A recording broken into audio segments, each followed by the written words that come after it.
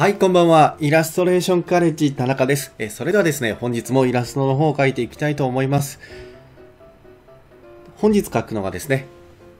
植え込み、こちらの仕上げの方をやっていきたいと思います。前回は、ちょっと下塗りと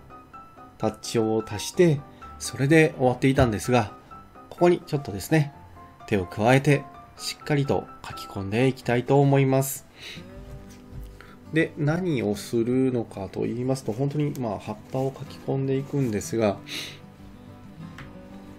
えーちょっと、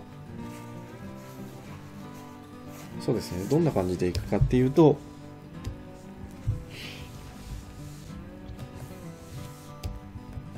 前回、途中までやりはしていたんですが、それだけではなくて、えーっとですね、まあ、まあ、いつも通り、もう本当ブラシは、それっぽければ何でもっていうか、こんな感じで潰したりとか、筆圧つけて書いていけば、それっぽく、最近筆圧感知がね、もう性能良くなってきてるんで、最近のフォトショップじゃないや、液晶タブレットとか最新の筆圧感知をついてるですねペンを使えばもう本当昔はこのブラシを使わなきゃあブラシを潰さなきゃできなかったストロークなんかも出てしまうのでそこまでね考えなくても結構できちゃうんですよね。まあなんでそれそれをそれもちょっと試しながら。あでもやっぱちょっと潰した方がいいかもしれないですね。こんな感じでちょっと。葉っぱをかき足してしっかりと、えー書き起こしていきたいと思います。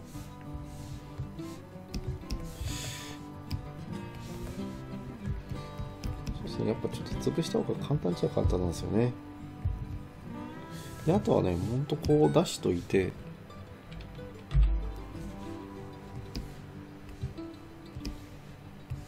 ブラシをくるくるくるくる回転させながらやった方がいいですね。なんか単調な葉っぱになってしまうのでそうしないと。ただあまりこう回転しすぎるのも変な方向に回転させすぎるのも良くないですけど。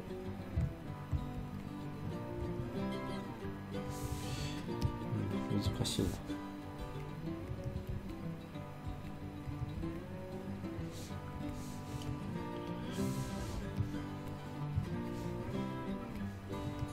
感じでちょっとずつ書いていけばぽくはなるんで。で、まあ、最初は本当にこんな感じでもうざっくりざっくりやってってください。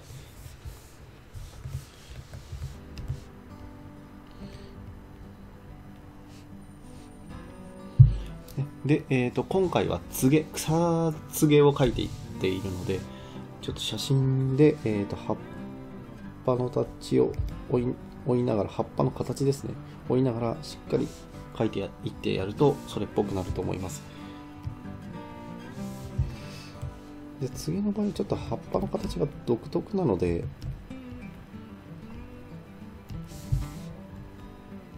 あそこも意識しつつ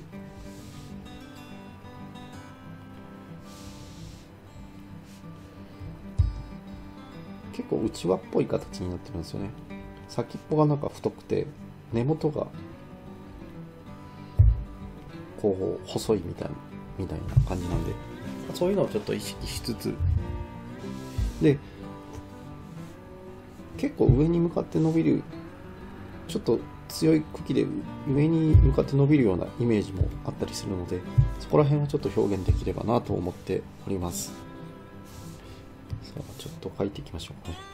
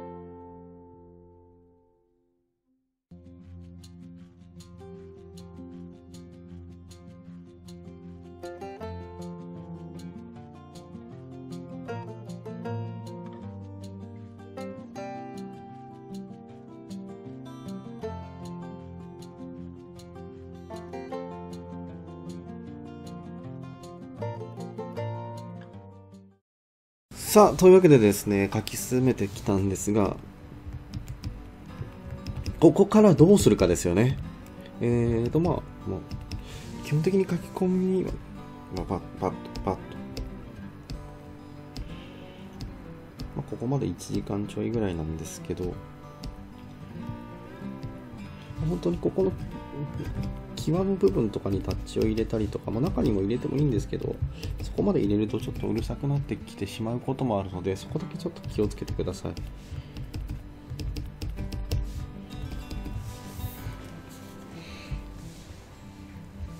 でまあここからなんですけど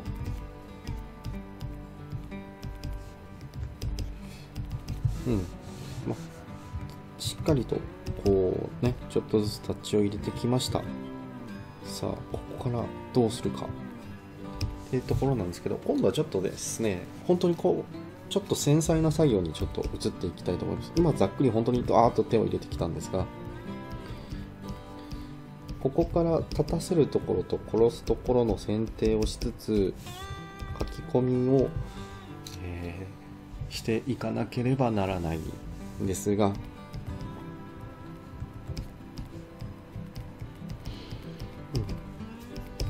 例えば。ここの中心の辺りはもう、まあ、ざっと手を入れてる状態なんでとりあえず今置いときます。今度はですねこのエッジの部分ですね。エッジの部分にちょっと葉っぱの形をしっかり捉えて描いていきたいと思います。もうほぼほぼここのかっこよさであの植え込みのシルエットは決まってくると思うのでそこをちょっと今からしっかりやっていきたいと思います。ここを書くときはもう本当にもうの残しといてもいいと思います。あの線画を見つつやってもいいと思います。でまたこうブラシを整えつつこんな感じでしっかりと葉っぱの形を出してやりましょう。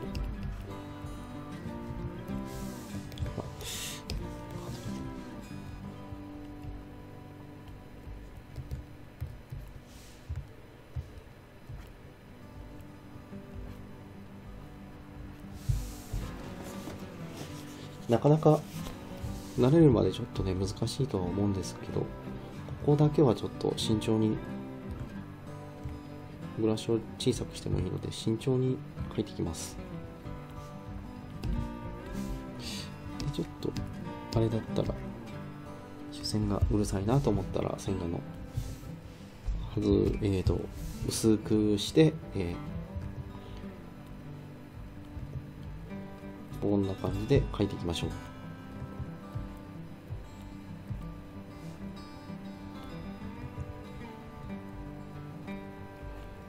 でこういうのこういう本当に細かいところに手を入れるときは本当に写真とかをしっかり見ながらどんな風になってるんだろうっていうのをしっかり確認しながらやっていくといいと思います。そうしないと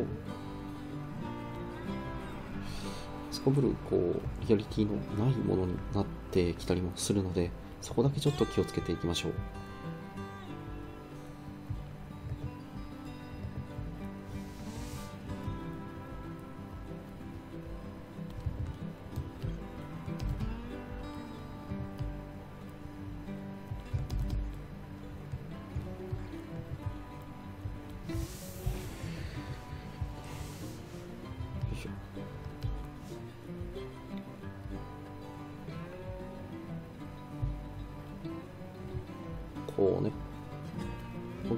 一枚一枚描くつもりでやっていってもいいと思います。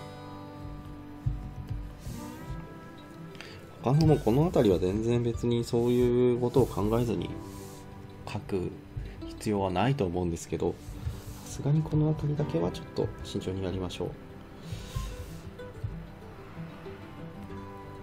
さあそれではちょっと書いていきます。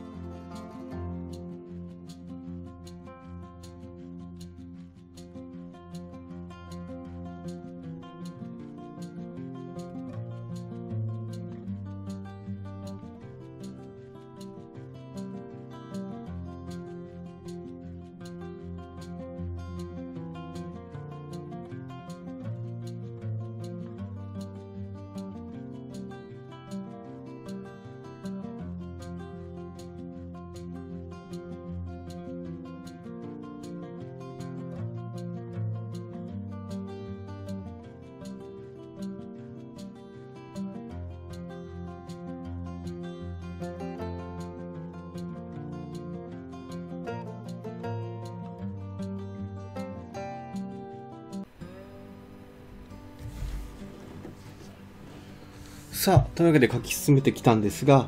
ここからはですね、まあ大体整えてきたっていうことで、最後にちょっとね、少しずつなんですけど、その、この書いた上にちょっとだけ新しい色を作ってあげて、真ん中の方やった方がいいですね。えー、タッチを、さらにこう、最終的なタッチを載せてあげるといいと思います。結構これもちょっとね、大変なんですけど、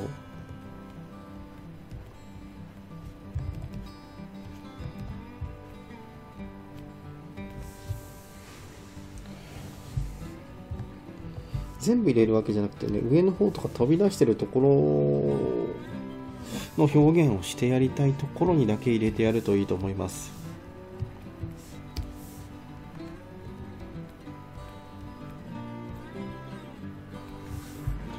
こんな感じでですね、すごい細かい作業になってくると思うんですけど、全部入れる必要はないですからね、ちょっとずつ入れた方が良さそうなところにだけ入れてでこの最後の一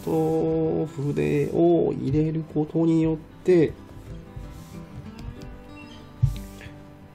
さらにいい絵になってくると思います。ょっと3色ぐらい3段階ぐらいちょっと重ねて塗ってやっても面白いですしこんな感じで。と言ってもわかんないですかね。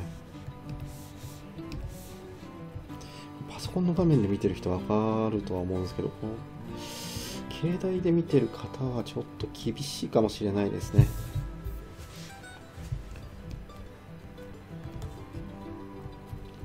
本当にそれだけちょっと最後に整えるっていう感じです特にこのと突飛なところじゃなくて突出して出ているところはなんかはちょっと目がいってしまうのでどうしても。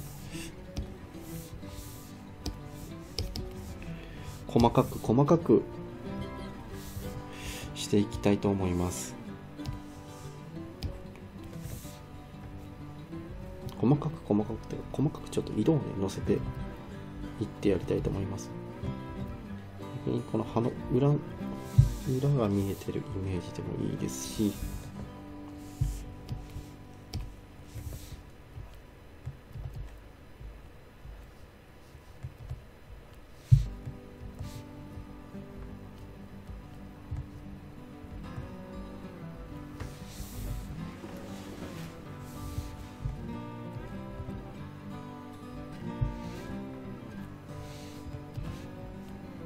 暗い色を入れてやるでもいいですし。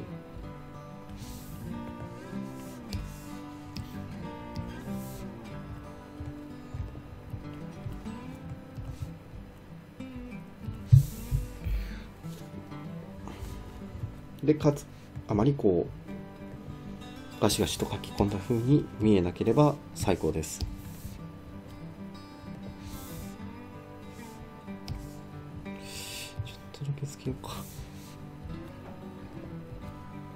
ちょっとだけつけたりして。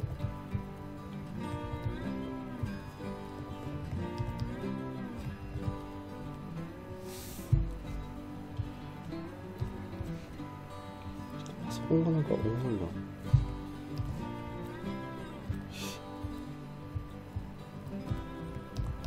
ここら辺のイメージがちょっと一番いいかもしれないですね。今手を入れているところが。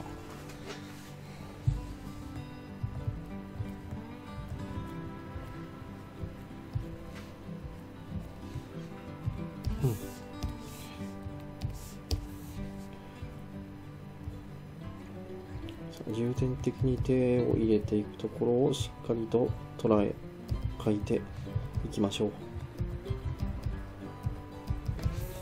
でまたこれもちょっと別レイヤーにしているので全部こう入れ終わった後に乗っけてみたいと思います。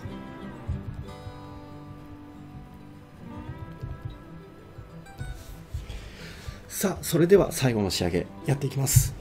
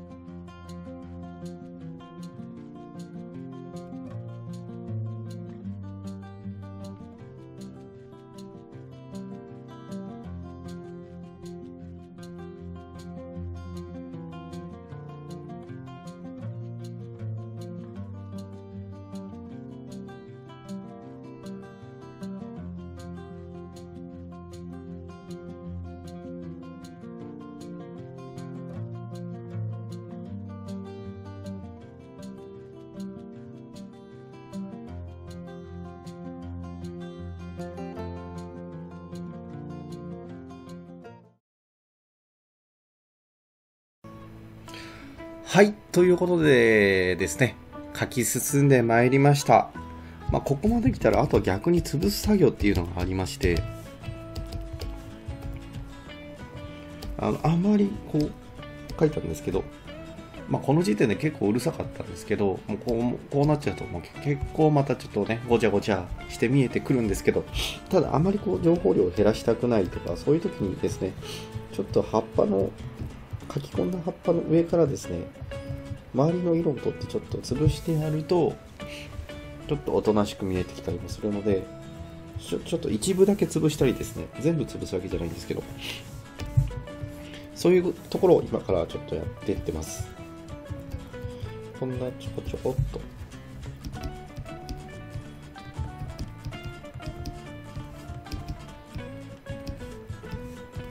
うん。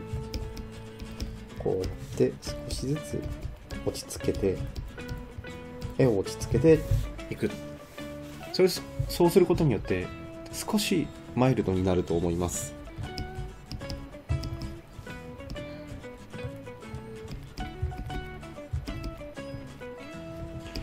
結構この辺りもちょっと強く出てしまったんで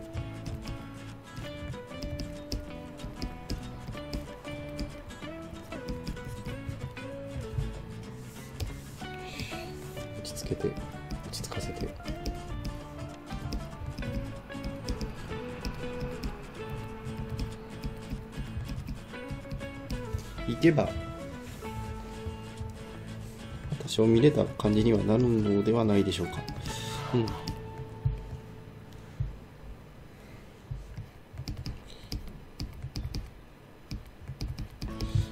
ょっとずつちょっとずつ落ち着けていかせたいと思います。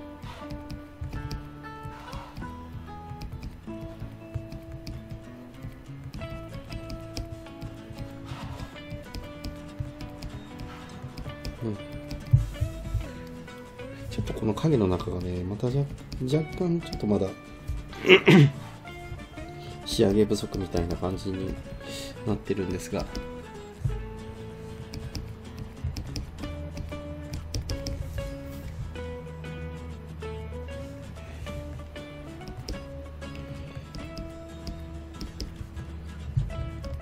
ここはねちょっとお愛嬌ということで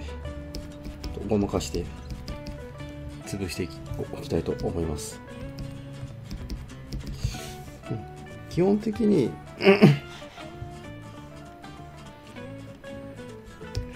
こういう絵を見るときはどちらを潰すかなんで今回は明るい面をこれだけしっかり描いてあるんでここですね。もうほぼほぼこの辺りの影面は書き込まないっていうのをちょっと意識してもらえればいいと思います。もしここを描くのであれば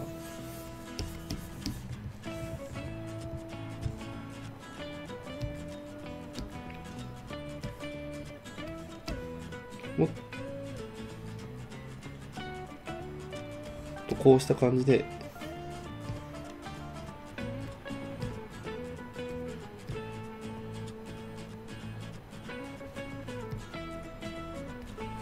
明るい面をもっとこのぐらい飛ばした方がいいと思います。そうするとここに情報量があるのが分かる。でもうこっちの書き込みがほぼほぼ潰れてきているので。で今回は逆パターンなのでこうと。影中はもうそれなりに潰してしまってアクセントだけで表現してあげるといいと思います、まあ、最終的にあまり本当に書きすぎてしまったなと思ったら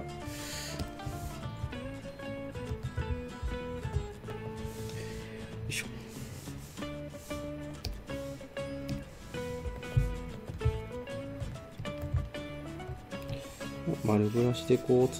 う上からもう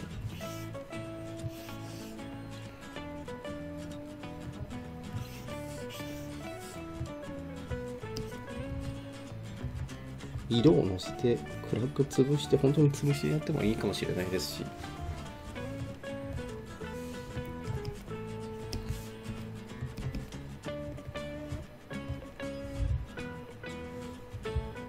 失礼。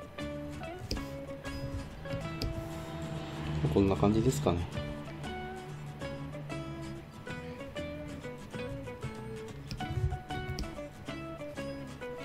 なのでそういうところをちょっと心がけると光のしっかり当たっているかっこいい家になると思いますちょっとサイドがこの影色がちょっとくすんでしまったなっていう時は、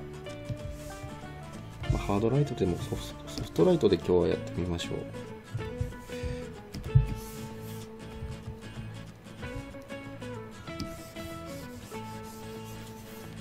まあ、こうすると結構綺麗な色に一緒に一緒にしてなるんですけどただこれやった後には必ずでちなみにこう茶色系に持っていくとなんか渋い感じの木の色味になりますね。で緑系に振るとすごく綺麗な色に振ることができます。でこれ気になるようだったらまたサイドとかもいじってやって調整してみてください。うん。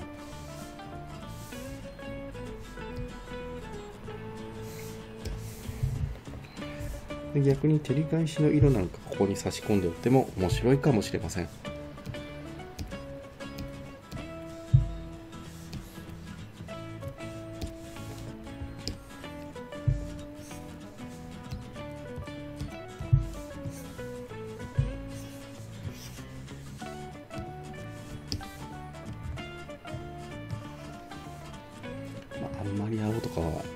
ちょっとあんまり良くないかもしれませんが。もうちょっとね。ここはちょっと様子を見つつって感じですかね。さあそれではえー、今回は植え込みの方を書いていきました。でえっ、ー、ともう普通にあのアスファルトの方とかかは一切手を入れていないのでまだここからしっかり仕上げることが必要になってきます、まあ、今回は植え込みを台座にしたということでこの辺りで一度終わりたいと思います。でもしわからないところがあったらコメント欄にコメントをいただけるとありがたいです。それではご視聴の方ありがとうございました。チャンネル登録、高評価の方、よろしくお願いします。それでは、また。